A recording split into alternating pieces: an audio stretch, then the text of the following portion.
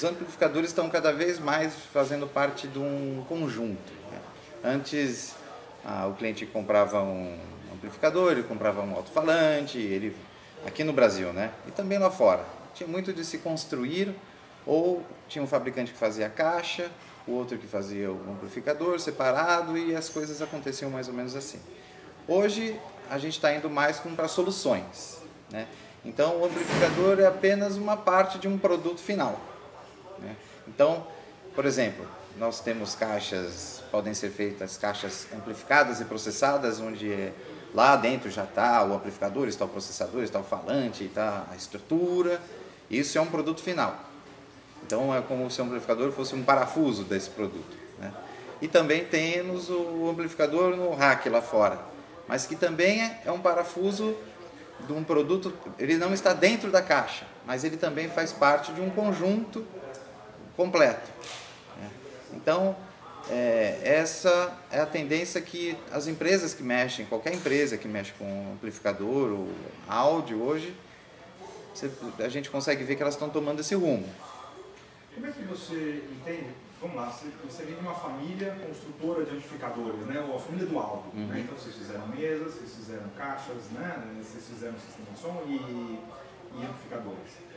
Né? Como é que você analisa essa evolução do que era está? O que mudou na essência?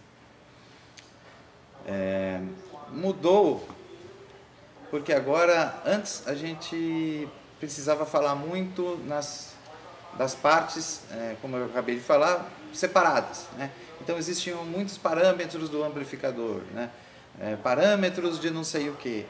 E a pessoa tinha que entender de tudo isso separado para poder fazer. Como agora as coisas são muito mais é, interdependentes, né? elas são já sai uma coisa pronta.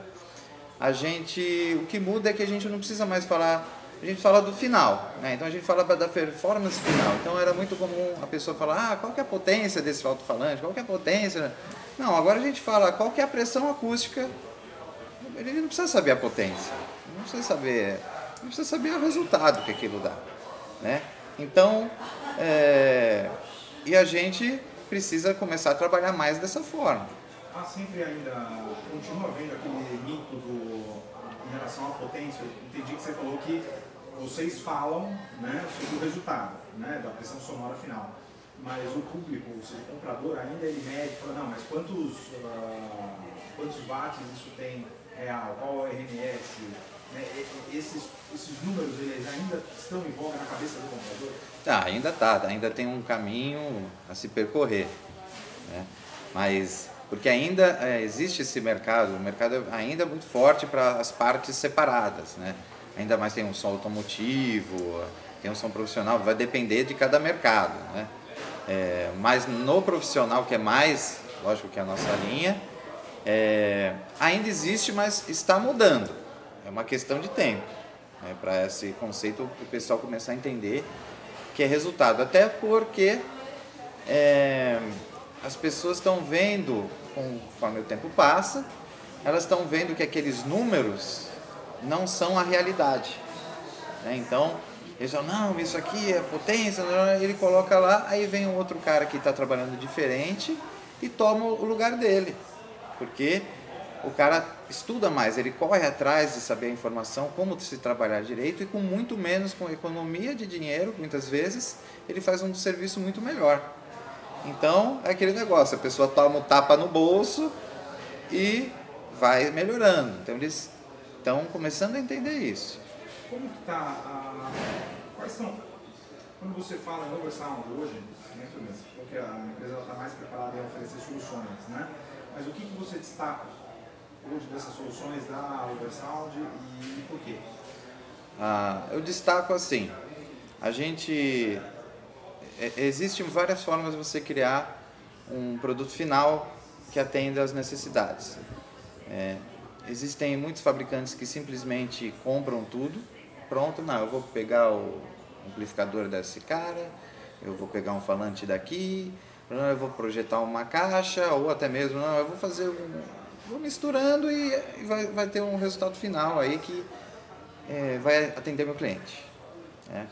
Eu não gosto muito disso, apesar de a gente muitas vezes é, tem que fazer isso por uma praticidade e também por uma uh, ser algo obrigatório, porque para você desenvolver certo certa parte do produto levaria muito tempo e aquilo você já tem uma solução extremamente barata que funciona, então você não vai ficar ali se e não é um item assim de ultra exigência, então você não vai ficar perdendo tempo com aquilo, né? Mas eu gosto dos itens chave, que é, por exemplo, hoje as partes do alto-falante, o amplificador, até mesmo o processamento. Eu gosto de estudar, entender como aquilo funciona e eu desenvolver. Porque só é a única forma que a gente encontra de fazer algo melhor e algo dedicado ao nosso cliente, porque os produtos lá fora são soluções para lá, o Brasil é, funciona diferente. Me fala o que, que funciona diferente aqui, qual é a característica que o Brasil tem como país, que de repente um produto feito aqui, uh, concebido aqui com uh, o clima, a umidade, enfim, todas as variações, corrente elétrica. Você já respondeu tudo. né? Todos esses fatores que você colocou. Então. Ah, no Brasil, a gente tem os problemas da rede, da temperatura e também as limitações. As pessoas não têm dinheiro, né? Então você fala, ah, não, então a gente tem que fazer um negócio ruim. Não, fazer um negócio bom e caro é muito fácil. Qualquer um faz. Agora fazer um negócio bom e barato que é o problema. Se você não souber muito bem o que você está fazendo e usar exatamente as peças que devem ser utilizadas, otimizar o projeto ao máximo, você não consegue fazer um negócio bom e barato. Ele vai ficar ruim e barato, ou bom e caro. Não? É, e outra coisa, a gente está num mercado que é o ganha-pão, a pessoa trabalha com aquilo. Então eu sempre dou um exemplo que você vai assistir um filme, digamos, você vai por lá o cassete, o cassete não, a tape deck lá, a fita, e quebrou, né? Deu um problema na ah, tá, vou ter que mandar arrumar e amanhã eu assisto esse filme, né? Agora não, não pode dar problema. Né? O cara está trabalhando, tem tantas mil pessoas no evento e o som não pode parar, porque senão se o som num evento muito grande para, o público tem, chega a casa que eles quebram tudo, o público se revolta, eles pagaram para estar tá lá. O som para, né? Então pode tumulto, pode dar tumulto, pode dar um monte de problema. O cara pode é, ter que pagar uma multa porque ele não ofereceu o serviço direito.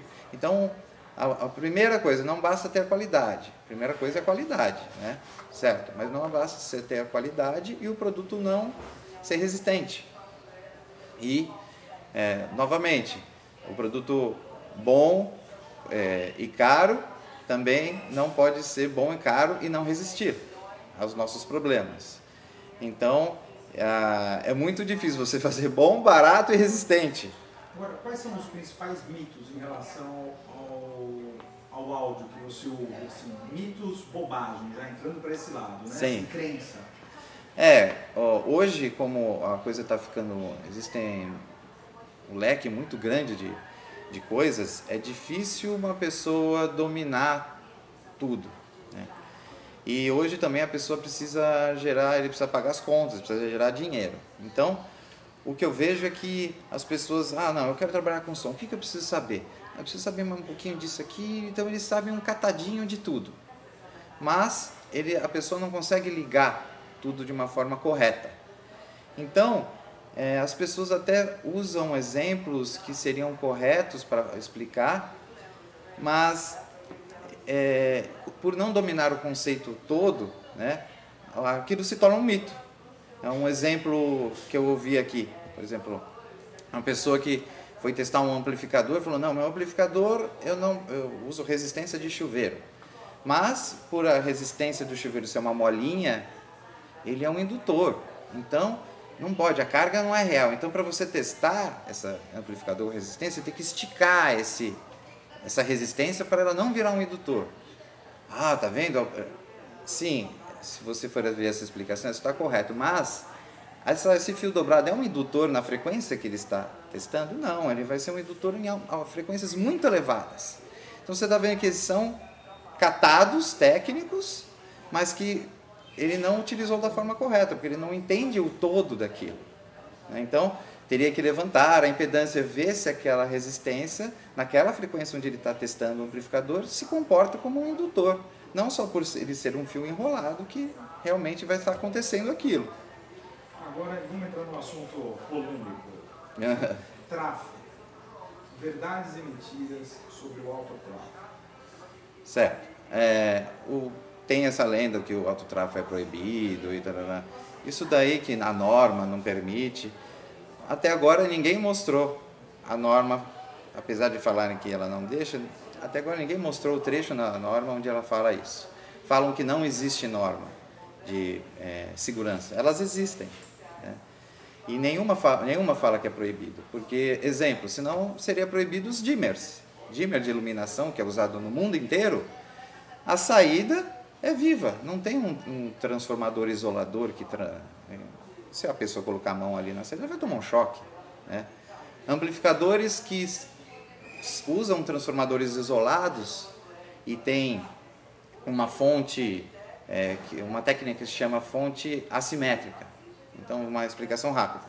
Ah, numa fonte simétrica, a, a, gente tem uma tensão positiva, uma tensão negativa e um, um meio. Aqui. Na fonte assimétrica, o amplificador ele tem um zero e um mais, certo?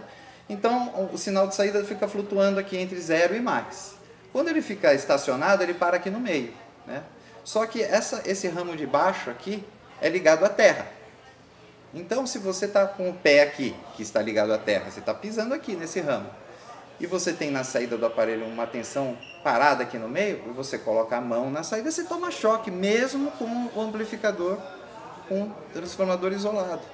Então, essa técnica que é usada no mundo inteiro, teria que ser proibida também. Então não existe uma forma, norma que proíba o autotransformador, é, que não proíba o dimmer, que não proíba amplificadores com fonte assimétrica. Então é simplesmente uma lenda que foi colocada no mercado, né? E existem é perigoso você pode tomar choque, sim, mas você toma choque. Amplificadores profissionais soltam na saída níveis de 100 volts. Então você bota a mão lá, você toma choque mesmo. Né? A única diferença é que com um autotransformador é que ele sem som você também vai tomar um choque. Mas acontece no dimmer, acontece nesse exemplo que eu acabei de dar. Né? Então é meio assim, se proibir, for proibir algo que é proibido, ninguém pode, é, algo que é perigoso, ninguém pode dirigir. Ninguém pode tocar uma lâmpada, ninguém pode usar uma serra tico-tico, porque corta o dedo, atropela as pessoas, entende? É somente uma, uma lenda aí que foi para, é, devido a esses amplificadores terem tomado o mercado e serem muito eficientes e bons, uma forma de tentar combater isso com as famosas fake news. Mas a lâmpada é um bom exemplo, né? Você tira a lâmpada, enfia o dedo, você vai tomar choque, quer dizer, ela está exposta ali, né? Sim, são. Assim, muito simples. É. Né? Mais fácil, inclusive, do que o próprio dimmer. Você tem que tirar da tomada e da, é. ali da caixinha, da é. é, é muito mais comum. É. Exato. Se a gente for levantar exemplos aqui, a gente está o tempo inteiro lidando com coisas perigosas.